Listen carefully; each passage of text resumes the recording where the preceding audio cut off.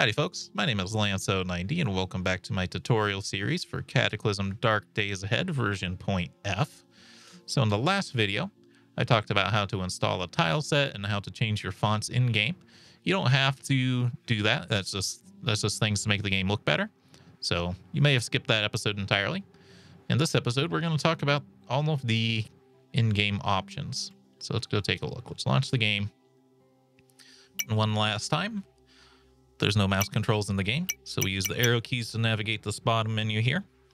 You press enter to select something. And once again, we can press enter to select something. We'll go to options. We press tab to go through our tabs here at the top. We press shift tab to go back. All right, so obviously there's a lot of options here. I'm not going to talk about every single one because obviously that'd be the most boring video ever published to YouTube. You can set a default character name. We're not going to worry about auto pickup. It's not that critical. We're also not going to worry about additional auto features. We'll talk about what those are later, though, once we're playing the game. Dangerous pickups. These are things like radioactive stuff. Dangerous terrain warning prompts. That's pretty helpful. That tells you, hey, you're about to step into a bunch of broken glass or something, and it's going to do damage to you. Are you sure you want to do it? And usually say no. Safe mode. So this is pretty important.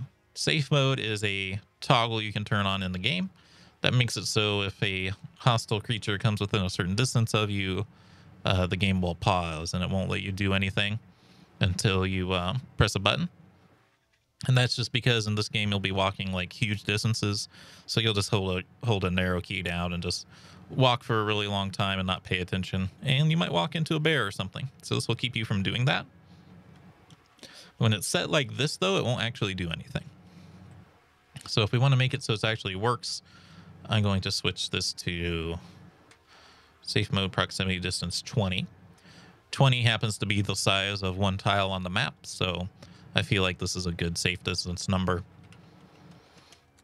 And we're probably not going to press any of those. We're not going to realize mess with real-time turn progression.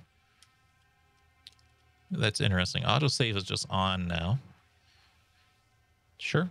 Hopefully it doesn't take too long to save, otherwise I might turn that off. But uh, yeah, it's default on now. It used to have to be, you'd have to turn that on to make it work. Auto notes, they're pretty useful.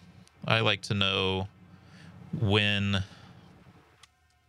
So this will show this means it'll put down a note when stairs appear. This one means it'll put down a note on the map when weird events happen on the map. And we'll explain those once we find them in game. Circular distances. Um, basically, the game used to work sort of like Minecraft almost, where uh, I don't even know how to explain it. Just leave circular distances on. It, it looks better. Otherwise, everything's just square looking. So here's where we can turn on our sound pack. We're going to do at sound pack. That's the one we installed. And in fact, you'll see there is no other ones because it's only it's only what the game came with and whatever you install. I am going to turn the music off because I'm playing my own music because I never know never know when something copyrighted might pop up, you know. And I'm going to lower sound effect volume because I'm recording. You might not need to do this if you're not recording.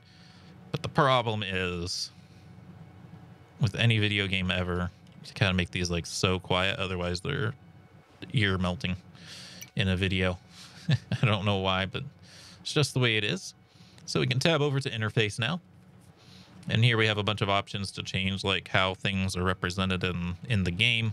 We can change volume from liters to quarts, or we can change mass from pounds to kilograms and speed from miles per hour. You get the idea, right? And we are going to just leave this all the same because I like it this way. Time format, that's fine. We can change it to military time if we wanted. And most of these I just ignore because this is all stuff I don't really care about too much. Da da da yada. Yeah, I don't care about any of the rest of this. We don't need to bother with it. Let's just leave it the way it is. Graphics, we're going to leave all, most of this the same too. It used to be that you'd have to set like your terminal height and stuff because the game was not full screen. And then even when they added full screen, it was like not quite right. But now the game seems to do full screen just fine, so we don't need to mess with any of this. And we also would have to mess with this if we changed our fonts because that would change like how big the, the screen was. It is very complicated. We don't have to mess with it anymore. We talked about these in the last video.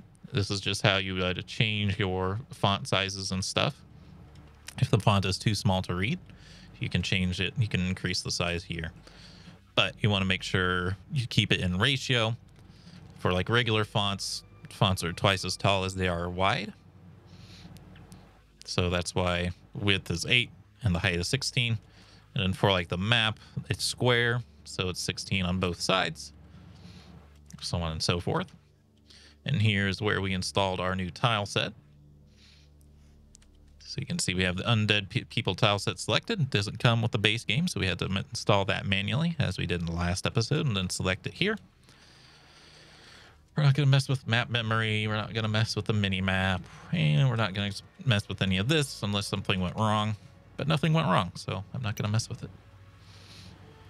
All right, so world defaults. This can be nice if you die a lot because it helps save some of the settings about the world generation. Um,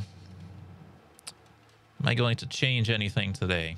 Not really there used to be some strategies, like in the early game when they were first developing the game. Uh, exploring towns at night was really, really easy. So what I would do is I would actually set this to start us at night. However, that's changed. Night's pretty much just as deadly as daytime. So I don't mess with that anymore. I just leave that as it is. Initial day. This means the day since the start of the cataclysm. And I think it also represents the day since the start of June 1st. So this is two months into the year, sort of. Or I guess day zero is the start of spring. Something like that. So the further this is pushed, the more evolved zombies are, the more dangerous zombies are, because they get they get more powerful over time. So if you find anything that modifies this so that you start later in the game, that's not just going to be like food rotting because food's starting to rot and stuff.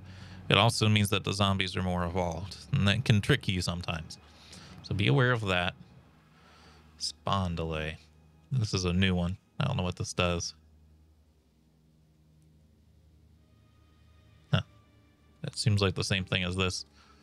Maybe this is maybe this has been moved to this and this is just like when the day starts.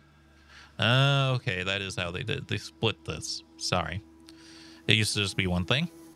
So this will not change whether zombies are more evolved or food is rotten. This just changed the start day of the year, which is pretty cool. Actually, I like that they split this up. And then this one, this is the one that makes it so food rots and zombies evolve. So avoid this one. Season length, we're just going to leave that the same because it says messing with it can cause bad results. And eternal season, you can make it so it's one season forever which you might want to do if you don't want to mess with winter or something. Wandering hordes. So this makes it so zombie hordes are just wandering around on the map, sort of like uh, I want to say DayZ, but that's not what it is. It is The Walking Dead, where they have like wandering hordes that they encounter sometimes. I like to leave this on false because it can like spawn a horde on top of you when you're not wanting to, and they just appear and disappear, and they don't really uh, they don't always make sense, basically. That's why I would leave this off. By the way, the game's incredibly difficult. This will be the hardest game that you ever play in your life. This will make Dark Souls look like a little baby's game. This is an incredibly hard game, so don't feel like, oh, I want to turn this on because it makes things harder. oh, no, no, no, no, no. Not, not for your first time. No, no, no. Like, this game used to be impossible when I first played it, and then I got better, and now that feels like a children's game compared to how hard it is now. It is unbelievably hard. Do not, don't even get me started. Surrounded starts. This makes it so when you start, there's a bunch of zombies around your building, usually. Um, the only trick to this one, I would say, is this means every evac shelter has zombies around it at the start, unless they fixed it. They may have fixed it but it used to be if you turned this on, all the evac shelters have a surrounded start, basically. Because that was the only way, only way to implement it, I guess, at that time. It may be fixed now. And to debug, this is how you cheat. this is where you can increase your stats. And we already increased the distance of his initial visibility to 20. This is how much of the overmap we can see at the start of the game. So we added five squares to the overmap in all directions, which is going to be very helpful for figuring out what we need to do. And then here is like our our stat points for all of our abilities. Um, honestly, give yourself like six more stat points or something.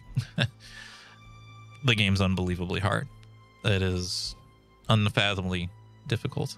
I don't know how many times I have to say that, but I'm probably going to lose. And I've played this game for years and years and years now. They've they've increased the difficulty 20 fold since I started playing basically, and it was already really really hard. Skill rust is thankfully off by default now. What skill rust means is if you don't use a skill that it starts declining over time because the game tries to go for as much realism as possible. You forget how to do things. Luckily it's off now. Thank the gods. But I would tell you to turn this off too if we uh we're starting in any version of the game honestly. And we're not going to mess with anything else there because it might break the game. Save changes, yes. I pressed escape to get the save changes menu.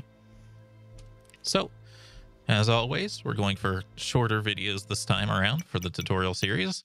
So in the next game, we'll start making our character. And we'll probably only go over like starting locations and positive traits, maybe. We'll see.